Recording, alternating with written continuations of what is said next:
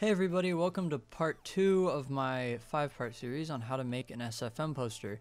In this video we're going to be focusing on subscribing and downloading add-ons and porting things from Gmod.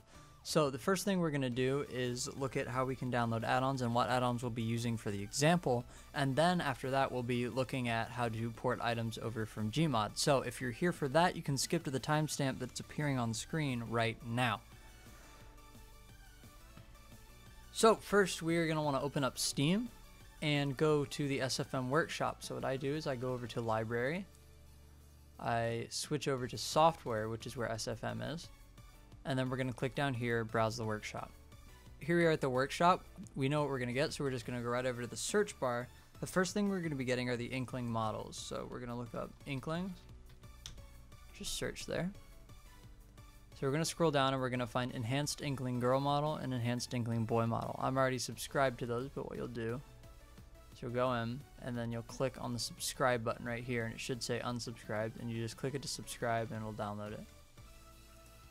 So once we get both of those two downloaded, we're going to go back up to the search bar. We're going to search Splatoon 2 gear and there's going to be three packs here, so you're going to want to subscribe. You can hit the plus button down here for pack 1, 2, and 3. After that, we're going to look up Splatoon weapons. And we're going to subscribe to the Splatoon full weapons pack right here. So again, just click on this plus button here, or click on the page and go to the subscribe button.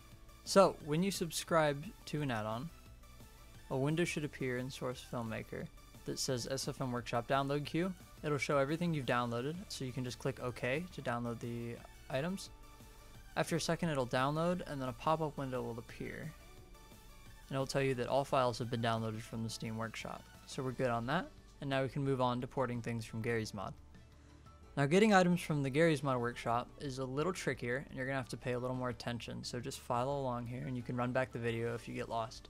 So we're going to go back to our library and switch back over to the games tab. Go down to Garry's mod and find what same way we're going to scroll down and click browse the workshop. So recently there used to be uh, a mod for the Splatoon 2 hairstyles on the SFM workshop, but they've recently gone away for some reason. So what I did is I went over to the Garry's mod workshop and found the models there and ported them over. So we're going to go up to the search bar and we're going to look up Splatoon hair. Now as you can see, we're going to get a bunch of dupes and saves that we don't really care about. So to filter that down, we're going to go to the type dropdown, scroll all the way down to add-on. And now we can see the Splatoon 2 cosmetic pack is what we're going for. So we're going to click on that, go down and hit subscribe. And as you can see, there are some things that you need to have downloaded. Now, we already have the enhanced inklings. And these two tools, we're not going to be using them in, in Garry's mod, so we don't really need these two things. All we need is to just hit continue it'll subscribe.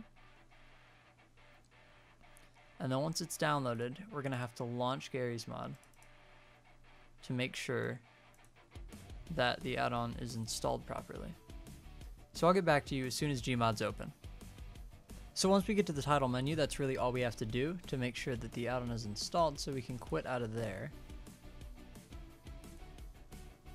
And now we're going to start doing some work in File Explorer. So open up your File Explorer we're going to go to this PC, local disk, program files 86, or it might be 32 uh, if you have a different type of computer. Now we're going to scroll all the way down to where it says Steam, Steam Apps, Common, and now we're going to find Garry's Mod. So once we get into Garry's Mod, we're going to go to the bin folder. We're going to scroll down until we find a program called Gmad. So we're going to select Gmad, go down to copy. Once we have that copied, we're going to go back to the Garry's Mod folder. So it's going to have Garry's Mod and then Garry's Mod again.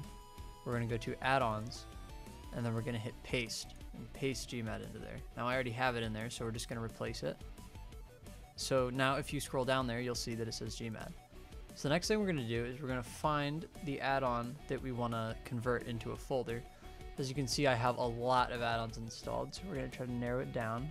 So we've got Splatoon 2 Cosmetic Pack, here it is. We're going to click on that.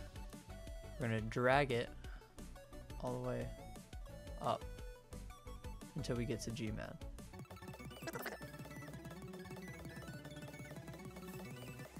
So now that we found Gmad, we're going to drop the file in. A uh, CMD window will open up, so just let it do its thing. So now we'll see that it's created a folder called Splatoon 2 Cosmetic Pack.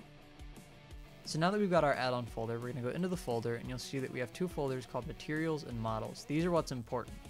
So we're going to left click and drag till we've selected both of them, right click, and then hit copy. Now we're going to go back, all the way back out into the common, and instead of Garry's mod, we're going to go to Source Filmmaker, Game. Now as you can see here, I have a folder called Garry's mod. This isn't here normally, you won't see it.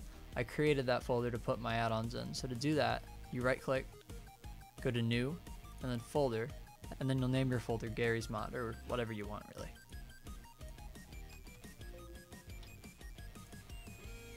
So now we're going to go into our Garry's mod folder, and we're going to paste the materials and models. Now I already have all of them, so you can just let yours buffer. I'm going to X out of here because I already have them. So as you can see, now my materials and models are in there. So the next thing we're going to do is open up Source Filmmaker. So once we're back into Source Filmmaker, to open up the project you've been working on, to go down to Recent Session, it should be right there. So you click Open Recent. So this should look pretty familiar. The last thing we're going to do in this video is actually a bit of a sneak peek into the next installment. We're going to check and make sure that the ports came over successfully. So to do that, we're going to go over to our animation set editor, click the plus drop down, and go down to create animation set for new model. This kind of window should come up. So we're going to wait a second down here. You can see it's counting up all of the models we have installed. I'll probably have a significant number more than you do, which is fine. So just let those go for a second. Now to make sure the ports worked right, we're going to type in hairstyle. And just scroll down until there they are. So, say we want to bring this one in, hit enter. And there it is. We can go into our work camera and move around and see the hairstyle. So, we know that those went in successfully. So, in the next installment, we're going to be focusing on putting our first models into our poster, so our inklings, our hairstyles, our clothes, and our weapons, and how to pose our characters into the positions they want. So thank you for watching and stay tuned for the next episode. See ya.